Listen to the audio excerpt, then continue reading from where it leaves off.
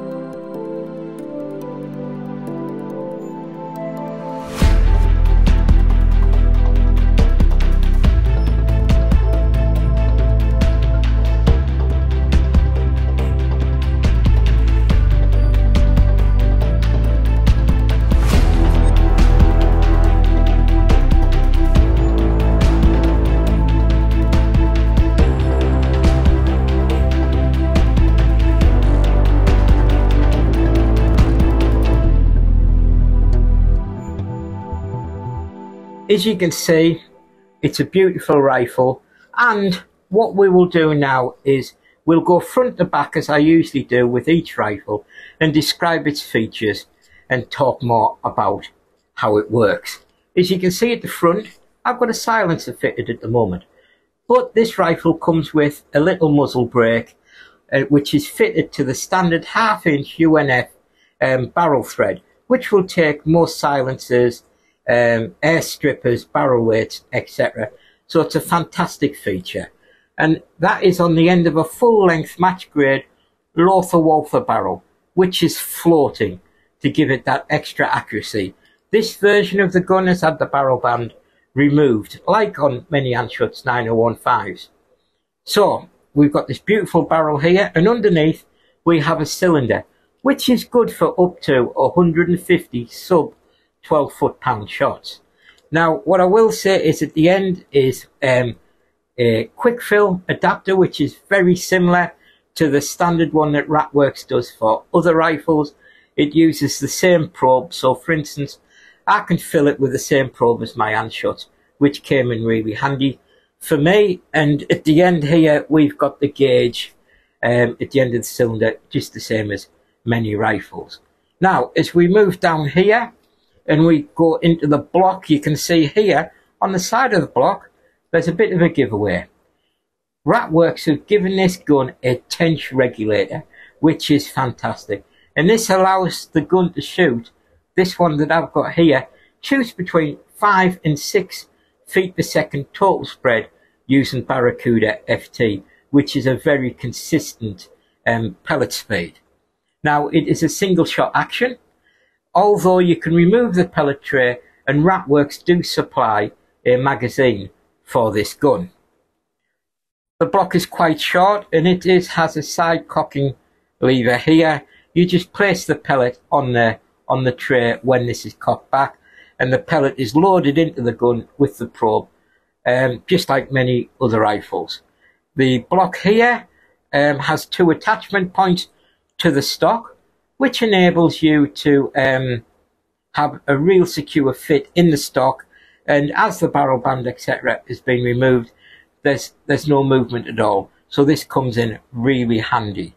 Um, what I will say is there is a very consistent trigger on this rifle. It's a two-stage trigger. It um, is adjustable for both length of pull and weight at each stage. I've got it set so I've got a little bit of a two millimeter wiggle um, on the on the first stage and a really crisp light release on the second stage. I usually fiddle with um, triggers on um, you know more modestly priced guns like this to enhance them. There's absolutely no need to do that with this trigger. Uh, it was fine out of the box. Now this beautiful action here with the, as I said, tench regulator sits in a, the Ratworks version of this gun has a walnut stock and not a beech stock. And on the bottom of the stock is a standard Anschutz stroke air arms accessory rail. And I've fitted a Picatinny adapter to that rail to enable me to use my bipod while I'm trying this gun out. What I will say is I've already run about um, two tins of pellets through this and I've absolutely loved my time shooting it. So as I say, this walnut stock is lightly finished and oiled.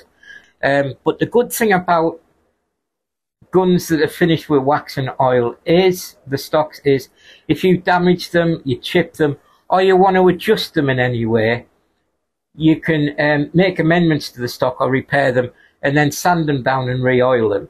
Whereas um, the more expensive stocks that have this kind of automotive clear coat on them can be an absolute nightmare if you ding them.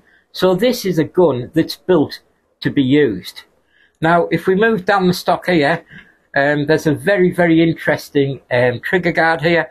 I mean, you know, it's just a nice design. It doesn't really serve any different purpose, but it was a nice design feature on this gun, which I quite like, made it stand out from the crowd.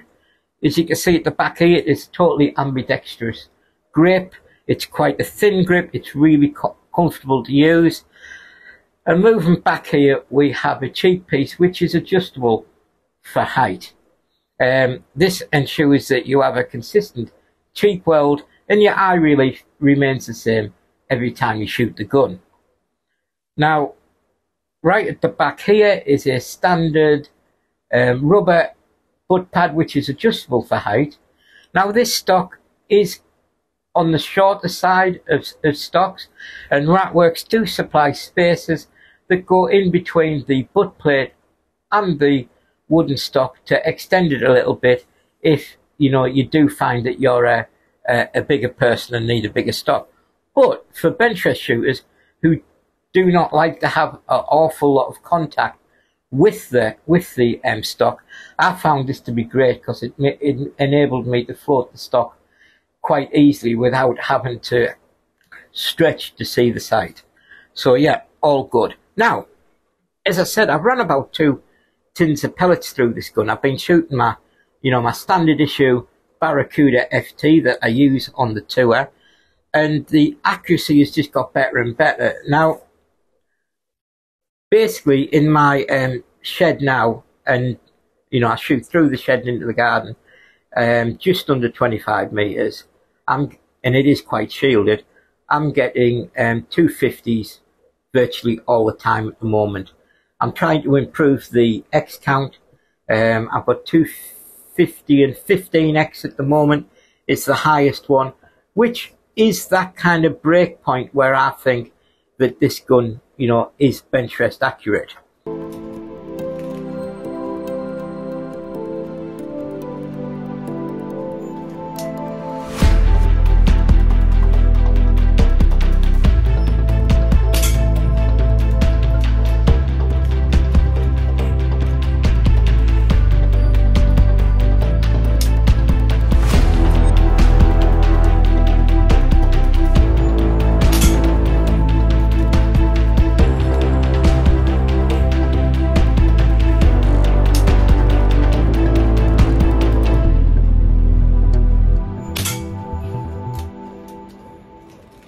Price of this gun is amazing. With all the um, Ratworks magic sprinkled on it, it is still only £850. And that is, you know, nearly £500 cheaper than what I would call the current entry level bench rest rifle, the Air Arms HFT 500. Now, you can buy a lot for 500, which means that um, with the new rules for uh, World Rules bench rest, we can now use bipods. you could buy this rifle, the scope, the mounts, the bipod and a back bag, all for the price of just the Air Arms HFT 500. So for me, I think this rifle is really worth looking at deeper to see if I can bench rest with it. So in my next video, I'm going to bench rest this rifle both off a block on a standard joystick operated bench rest and I'm going to try the new style of shooting. Well new style of shooting the world rules bench rest and I'm going to shoot it off a bipod to see if there's you know a massive difference and what the benefits are. Anyway guys I'm going to carry on shooting this gun over Christmas. And while I've got it I'm going to enjoy it because I haven't had as much fun in ages. And that's what living the airgun dream is all about. And until next time guys take care. Bye bye